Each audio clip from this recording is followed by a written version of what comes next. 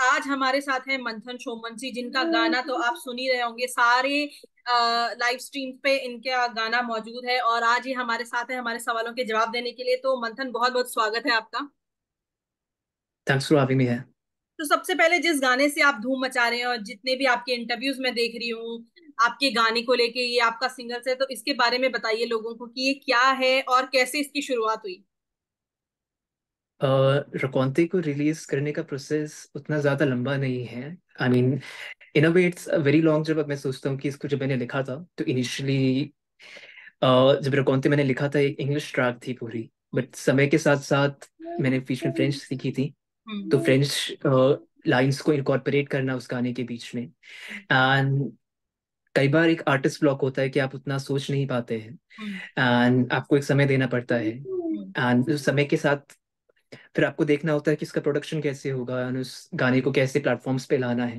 हम्म। तो वो सब करते करते ऑलमोस्ट दो साल हो गए एंड टू में फाइनली रकौनते आप सबके सामने हैं। And I am really happy कि initially in the initial phase of Raconteur I think people are accepting it and the reviews have been amazing so far and whatever interviews have given so far people have been really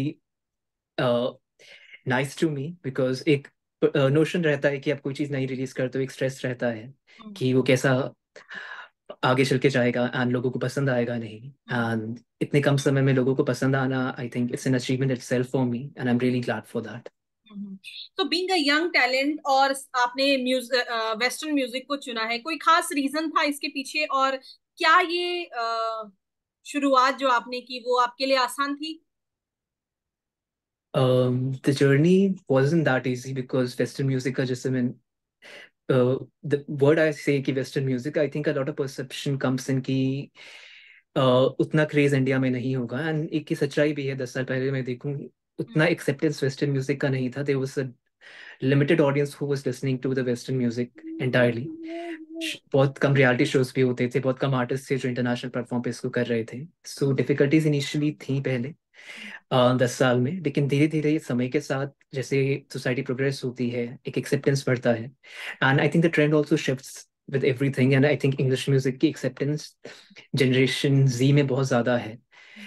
and धीरे धीरे चीज़ें अब smooth हो गई हैं but yeah definitely the journey has been difficult for me in the initial years with the western music and अगर मैं बात करूँ कि इसको चुनने का तो कोई ऐसा नोशन नहीं था कि मुझे वेस्टर्न म्यूज़िक ही चुनना है। Western music is something I had in front of me जब एक situations हो रही थी कुछ लाइफ में। सो so उन कुछ situations में मैं उससे रिलेट कर पा रहा था। एंड जब मैंने इसमें डिसाइड किया कि मुझे एक प्रोफेशन भी दिखता है so I could able I was really able to put it forth my ideas in everything because वो चीज़ आपको इन्फ्लुएंस करती है जो आप लंबे समय से सुनते आ रहे हैं। And that's how Raconteur came to me as a track इसके नाम आ, नाम काफ़ी अलग है। नाम के पीछे कोई कहानी आपने यही नाम क्यों चुना? गाने का टाइटल मैंने सोचा नहीं था जब इनिशियली मैंने गाना लिखा था। ये पूरा गाना इंग्लिश में था। But hmm. जब मैंने इसको सोचा कि फ्रेंच को भी इनकॉर्पोरेट कर सकते हैं because I was learning French for one year तो रकौनते मेरे पास एक शब्द आया। I was able to relate it with certain life circumstances दो शब्द का मतलब बहुत सिंपल है it means to meet in English. Mm. And when I was able to relate those feelings and see Raconte in front of me, mm. so एक अपनापन लगता है उस शब्द के साथ and that's the reason I chose it. या सो ये तो प्रोफेशनल आपका आपके चैलेंजेस हो गए लेकिन पर्सनली क्योंकि दस साल पहले की बात की जाए म्यूज़िक इंडस्ट्री की बात की जाए तो इतना इजी नहीं होता है यहाँ पे बच्चों को सपोर्ट करना क्योंकि हम लोग शुरुआत से ही चाहते हैं कि बच्चे के पास एक ऐसा जॉब हो जो सिक्योर जॉब हो। आपके पास था फैमिली सपोर्ट कितना आपको सपोर्ट मिला है फैमिली से इनिशियल इयर्स में फैमिली को उतना उतना सपोर्ट नहीं था because yeah like other family members they wanted me कि मैं करियर में कुछ करूँ which is much more stable and एक परमानेंट सोर्स ऑफ़ इनकम होना चाहिए आपका। So you have to have a degree with you so i'm really thankful for that because in this field you have a lot of instability and एक parallel अगर आपके पास career है तो आपके पास वो एक सपोर्ट सिस्टम के साथ रहता है। But yeah it was little heart breaking because वो चीज़ आप फुल टाइम परस्यू नहीं कर पा रहे हो एंड आप का उस उतना सपोर्ट नहीं मिल रहा है जितना आपको चाहिए। Because if you family supporting you वो थोड़ा पुश ऑन हो जाता है। वो चीज़ें इवेंचुअली ईजी हो जाती। एंड मे बी रकौनते आपको बहुत पहले सुनने को मिलता। But I think everything has its own course plus अगर मैं देखूँ सिचुएशंस उस समय कैसी थी।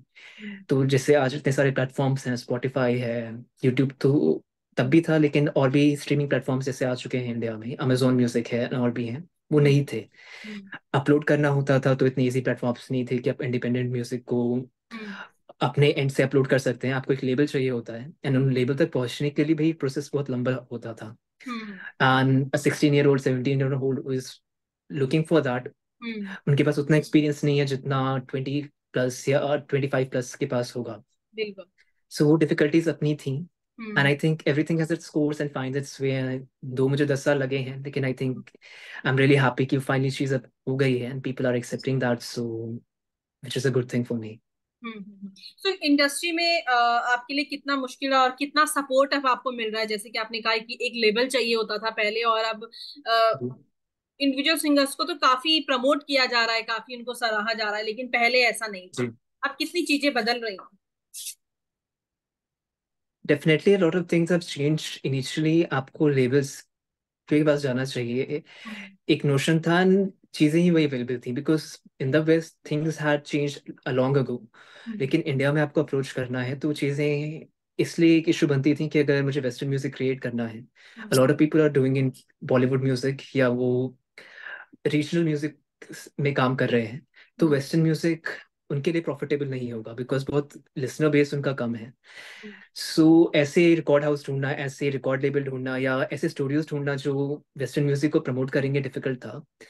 So I was looking forward कि इधर मैं बाहर चला जाऊँ कंट्री से and knock the doors of those who are making music abroad because मेरे पास वही चांस अवेलेबल था। तो वो भी मैंने ट्राई किया कि यहाँ से बैठे बैठे अगर आप ईमेल्स करो उन्हें एंड hmm. कोई रिस्पॉन्स आता है लेकिन वो रिस्पॉन्स आया नहीं बिकॉज़ एक एक्सपर्टीज नहीं थी एंड एक learning is a process and music भी अगर आप सीखते हो तो रियाज आपको करना पड़ता है हर चीज़ें करनी पड़ती हैं एक बचपना पहले होता है जो आप समझते नहीं हो कि एक लंबे समय तक आपको रियाज करना है प्रैक्टिस करनी है कुछ hmm. चीज़ें इंडस्ट्री के बारे में समझनी है hmm. तभी वो चीज़ एक प्लेटफॉर्म पे अवेलेबल आप कर सकते हो सो so, वो चीज़ करते करते अपने आप को डेवलप करते करते आई रियलाइज़ कि ठीक है वो डिफिकल्टीज थी but I think it's a very right time के जब मैंने रकौनते रिलीज़ किया है। Now I have the experience की क्या चीज़ें अब है मेरे पास क्या चीज़ें मुझे और इम्प्रूव करनी है क्या चीज़ें आप कर सकते हो। Plus resources much better available है जैसे आपने बोला कि रिसोर्सेज के बारे में कि हाँ। पहले नहीं थे अभी भी अब रिसोर्सेज हमारे पास हैं अवेलेबल कि आप इंडिपेंडेंटली क्रिएट कर सकते हैं म्यूज़िक एंड ज़रूरी नहीं है लेबल्स के पास जाना ना जाना आपकी चॉइस है। It's a good idea if you want to go with labels it's a good idea if you want to go independent so आपकी इंडिविजुअल जर्नीज है जैसा आप चाहते हैं वो आपके पास रिसोर्सेज अवेलेबल हैं एंड आप वो कर सकते हो। So I think I see it in a very positive light कि आज आप छोटे से एक शहर में बैठ के आप अपने गाने को रिकॉर्ड कर सकते हो अपलोड कर सकते हो एंड दूसरों को सुना सकते हो।